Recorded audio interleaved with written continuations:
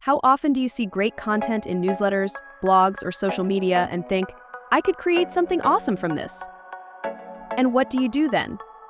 You save the link to Excel, Word, Notion, or Bookmark to use later, right?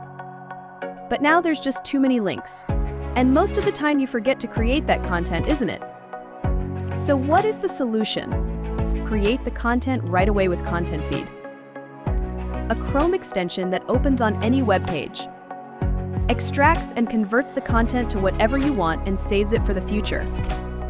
Let me show you how. Take this blog. Simply open Content Feed. You can see your tokens here. For each extract, one token is used. Now you can go to Extract here and click on Extract Main Content. It will extract the whole page. Once that's done, you can choose from various types of content to transform this blog. Short tweets, threads, captions, carousels, and more. Let's select Short Tweet. Now you can select the style of output you want, whether you want paragraphs, bullet answers, line spacing, or a news brief. Let's select bullet answers. Now you need to select your call, you can choose Gemini or OpenAI.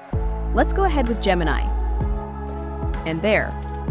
You have your short tweet right here. You can either save it or if you don't like it, delete it.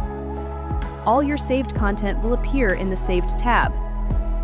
You can then go to X, find all your saved tweets, and schedule them directly from the platform, quick and easy. And just in case you don't want to use any of the types of content, you can choose a custom prompt and type in your own prompt, for example create a reel script, and save it. Just imagine the amount of content you can create like this quickly. Install Content Feed now.